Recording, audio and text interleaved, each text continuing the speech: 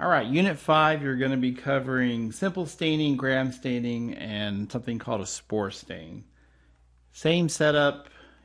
There are lab videos. I go through, um, especially this one. Okay, that one I use the outline. I go through it with you step by step.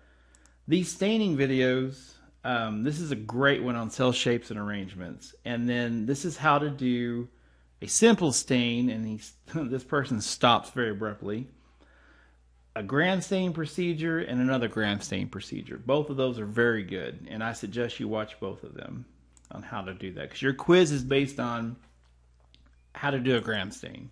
That's part of it. So under study materials, um, here is the outline.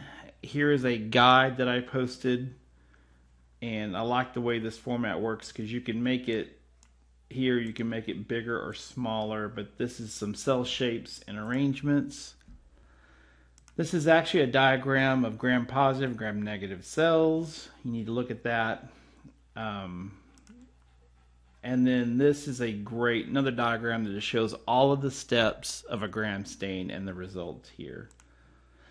And then I go through this in the video, but this is great. This is a little animation flash object. And by the way, you if you if you get this, you can hit the negative. It'll show up.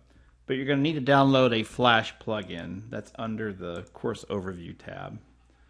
If it doesn't show up.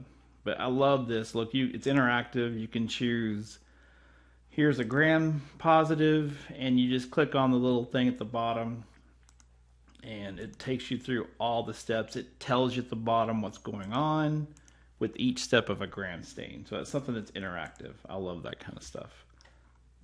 But that's what you're going to be doing with um, with Unit Five. It's all about staining.